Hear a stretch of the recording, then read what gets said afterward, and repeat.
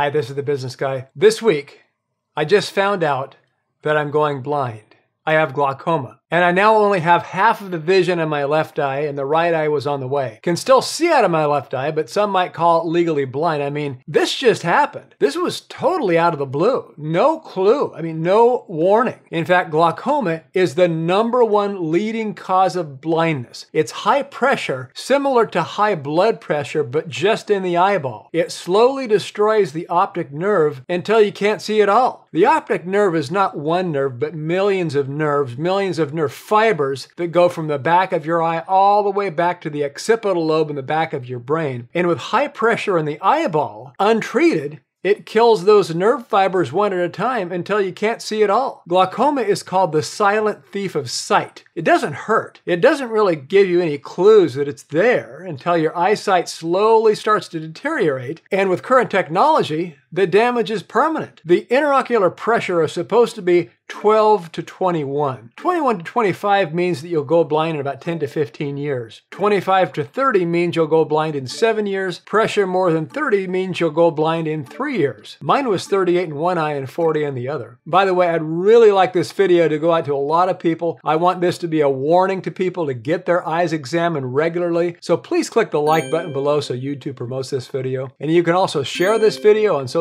media text it to others. And if you haven't already, you can click the subscribe button below so that when more videos come out, you'll be up to date right away. So I was prescribed eye drops to lower the pressure. Doesn't always work. I went back two days later and it was nine in both eyes. And I have to use these eye drops for life. Now I can't get back the vision that I already lost. It's permanent. It's usually genetic. I just found out today that my father takes eye drops for eye pressure as well, though he wasn't diagnosed with glaucoma. Get your eyes checked regularly. Believe me, it's worth it. Earlier this year, I needed a new pair of glasses, so I went to an optometrist to get an eyeglasses prescription. As part of that process, I had the complete eye exam where they checked the pressure with the air pressure test, and at that time it was 25 and 26 as I recall, but little damage to the optic nerve. So the optometrist told me that he was concerned about glaucoma and he diagnosed me with pre glaucoma. And I didn't even know what glaucoma was. Nobody in my family had glaucoma.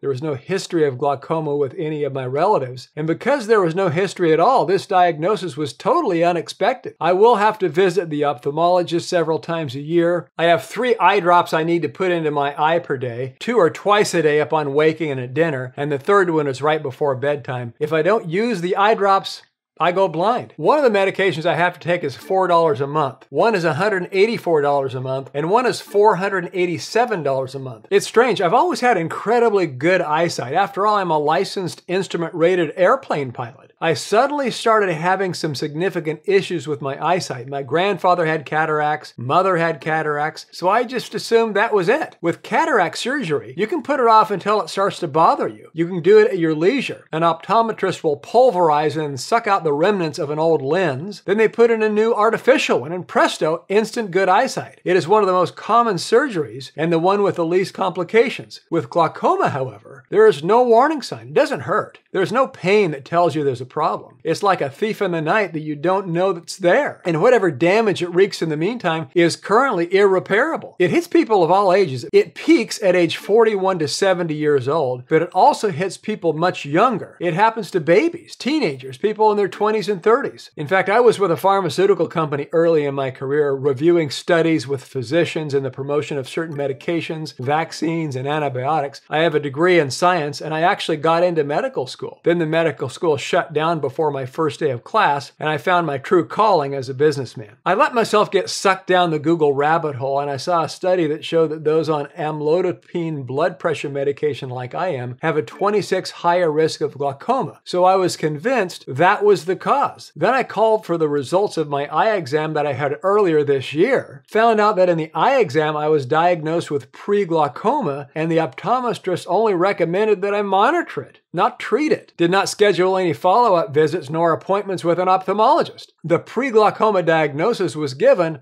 one month before I ever took amlodipine, so the blood pressure medication theory went right out the window. I've done a lot of reading online about glaucoma, and I'm also trying to learn more about it. I've been watching YouTube videos, I've read ophthalmology journals and studies, and I have a background in reviewing medical studies in the past so I can understand them. And I've seen in several cases they have mentioned that early research is being done by the Glaucoma Research Foundation, and many of the things they have done have been what has inspired innovations that may ultimately turn into treatment. So I'm interested in doing whatever I can to continue these innovations and continue inspiring new treatments, and also ultimately inspire a cure for the disease with the research that they're doing now. In fact, I saw reports of innovations using stem cells to repair and grow optic nerve fibers. It's challenging because the stem cells don't just need to repair the nerves at the back of the eye. They actually have to grow nerve fibers all the way from the back of the eye to the occipital lobe in the brain. So technologically repairing a nerve fiber is no small feat, and there are millions of them. And one big problem is that in laboratory studies, they've been able to grow nerve fibers, but many of the newly grown nerve fibers would not transmit a signal. So we have a long road ahead of us to repair damaged optic nerve fibers. As I mentioned, it can happen at any age really, and I've been diagnosed recently, and I've been told that juvenile glaucoma is experienced by multitudes of young people. But I had no idea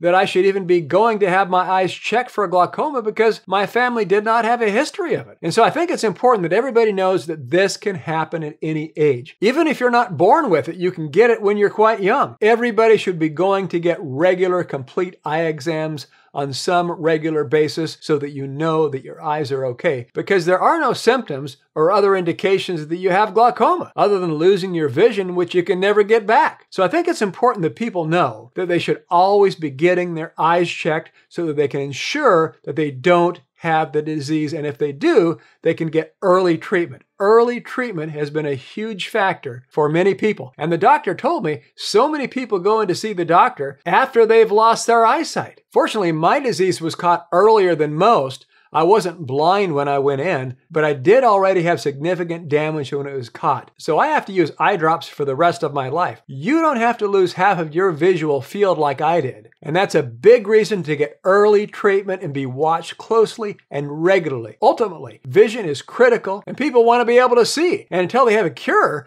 people are going to continue to lose their vision. And so obviously, it's a very important mission to try and come up with a cure that can help people so that they don't lose their vision going forward. So please, please, please go have an eye exam and have one regularly. Please comment below what you find out. And if this video helped you, please let me know in the comments below. Please like, subscribe, and share this video. This is The Business Guy.